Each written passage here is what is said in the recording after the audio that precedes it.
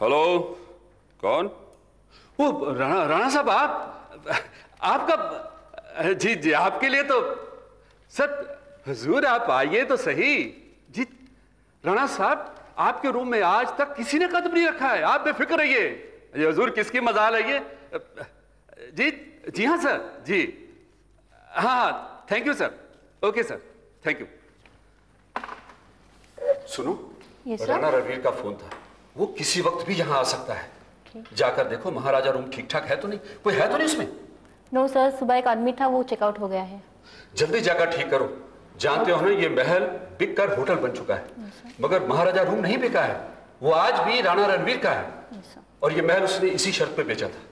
जाकर जल्दी ठीक करो बहुत ही दूसरे किस्म का इंसान है ओके सर प्लीज़ गो मैं चेक करता हूँ बाद में। अगर उसे ये पता चल गया तो तो गजब हो जाएगा।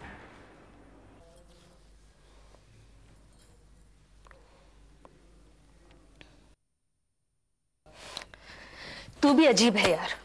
ट्रेन में तो कह रही थी मैं यहाँ जाऊँगी वहाँ जाऊँगी। यहाँ आने के बाद फिर वही बुक्स। तुझे चलना है तो चल मैं तो जा रही हूँ। किससे बात कर रही हूँ मैं? क्या है? तुझे चलना है कि नहीं? देख अभी डिस्टर्ब मत कर तू जा हाँ जा भाई ओके मत आ मुझे क्या करना है? मैं अच्छा घूम कर आऊँगी तू बैठ इधर ही एक कमरे में। ओके। बाय बाय सुन लंच एक साथ करेंगे। छाया लंच एक साथ करेंगे हाँ हाँ करेंगे Okay? ना करेंगे बाय बाय हाँ बाय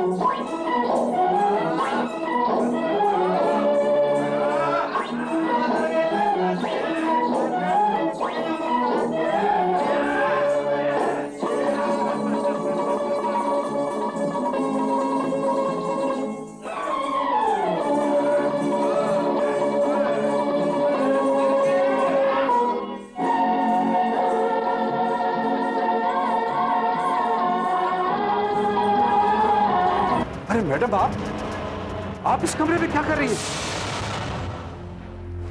आप समझ नहीं रही मैडम ये राणा साहब का कमरा है, यहाँ किसी को आने की इजाज़त नहीं है। आप प्लीज़ जाइए यहाँ से। आप समझने की कोशिश कीजिए, प्लीज़ जाइए, राणा साहब को पता चल गया तो गजब हो जाएगा मैडम। आप जाइए प्लीज़ प्लीज़ जाइए यहाँ से। जाइए जाइए प्लीज़। आप समझने की कोशिश कीजिए मैडम, प्लीज़ जाइए।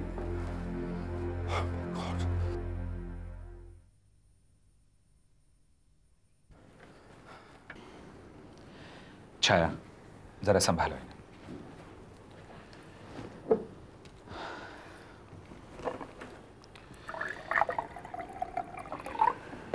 ये लो तारा कुछ पानी पी लो। और मुझे ये बताओ कि तुम राणा रणवीर सिंह के कमरे में क्यों चली गई थी? तुझे हो क्या गया है तारा? तू तो शंकरपुर गाँव जा रही थी। राजा साहब न जाने क्यों मुझे वो कमरा जाना पहचाना सा लगा। ऐसा लगा कि कि मैं पहले यहाँ आ चुकी हूँ।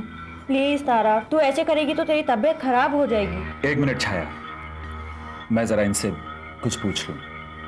तारा तुम तुम मुझे ये बताओ कि तुम्हारी परेशानी का सबब क्या है? मतलब तुम्हें क्या महसूस होता है? क्या चीज़ परेशान करती है उल्टे सीधे सपने देखती है बस। वेल हो सकता है छाया के उन सपनों का ताल्लुक हो तारा से। क्या मतलब? देखो छाया कभी कभी ये सपने ज़िंदगी के उलझे हुए राज को सुलझा देते हैं। हो सकता है कि उन सपनों का तारा के आने वाले कल से कुछ ताल्लुक हो। या ये भी तो हो सकता है कि बीते हुए कल से कुछ लेना देना हो। You know it's just my thought राजा साहब ये सिलसिला काफ़ी दिनों से चल रहा है। पहले तो पहले तो सिर्फ़ ये सपने रात में आया करते थे। लेकिन लेकिन यहाँ की हर चीज़, यहाँ की हर चीज़ को देखती है तो ऐसा लगता है कि मैं मैं पहले यहाँ पर आ चुकी हूँ। एक एक धुंधला सा चेहरा, एक मकान मकान के आसपास काफ़ी सारे लोग खड़े, फिर फिर दो बच्चे। उनका उनका उड़ा उड़ा सा सहमा सा चेहरा। फिर बच्चे सीढ़ियों से नीचे गिर जाते हैं। फिर फिर खून ही खून। राजा साहब मैं बहुत डिस्टर्ब हूँ। मैं मैं समझ सकता हूँ तारा। अच्छा मुझे एक बात बताओ वो जो मकान तुम सपने में देखती हो वो कैसा है? कोई खास चीज़ याद आती है उस मकान के बारे में? हाँ वहाँ पर वहाँ पर एक एक आर्च है। आर्च। हाँ। हाँ। और आसपास एक काफ़ी पुराना पेड़ है। एक आर्च है और आसपास एक काफ़ी पुराना पेड़ और कोई चीज़ मकान साफ़ दिखाई देता है? किस तरह बना हुआ है? नहीं। ठीक है तारा। देखो अभी तुम काफ़ी डिस्टर्ब हो। जाकर आराम करो।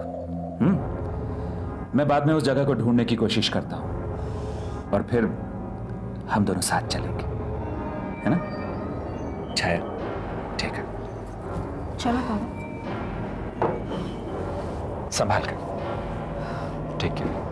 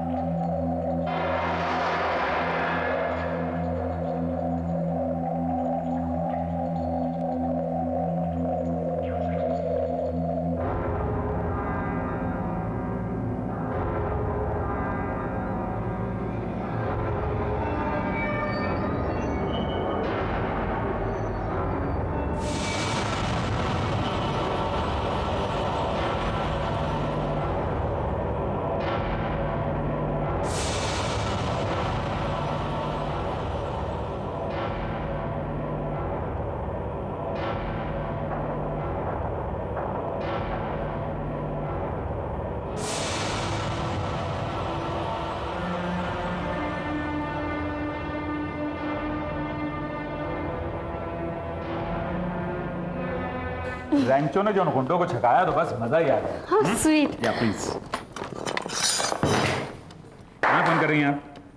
बॉम्बे। भैया अगर कोई एतराज़ ना हो तो मेरे मोबाइल से कर लो। ओके।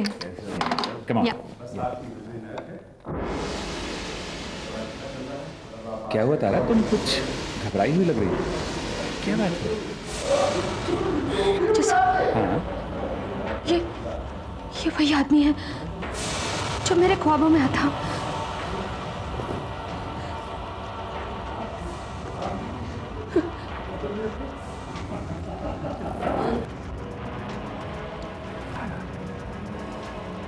तारा तुम तुम बिल्कुल मत घबराओ सब ठीक हो जाएगा। हाँ। और सुनो, जहाँ मैं अभी तुम्हें लेकर जा रहा हूँ ना, वहाँ हमारा इस वक्त पहुँचना बहुत ज़रूरी है। तारा, आ जाओ कम फास्ट ओके पूरा ख्याल रखा जी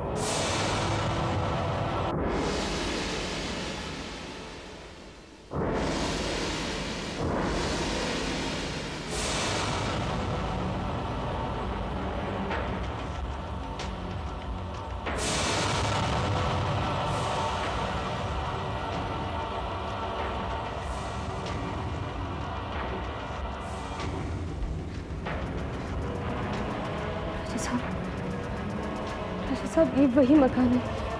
ये वही मकान है जो मेरे सपनों में आता है।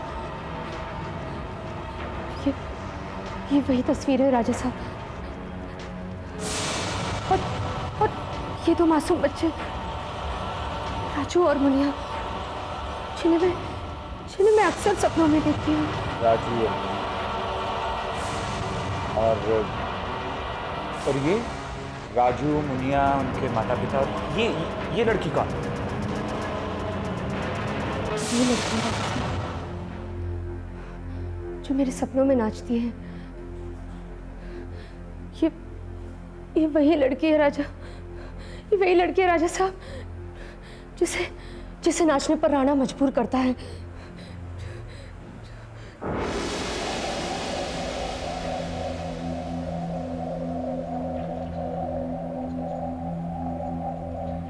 घुंगरू घुंगरू मेरी बेटी तू तू आ गई घुंगरू मैं मैं, मैं, जानता था तू ज़रूर आएगी। मैं मैं मैं तेरा इंतज़ार कर रहा था घुंगरू घुंगरू मैं जानता था तू ज़रूर आएगी। आप कौन है? ये घुंघरू कौन है बेटी घुंगरू बेटी तू मेरी घुंगरू है। तुझे तुझे याद नहीं? राना तुझे उठाकर ले गया था।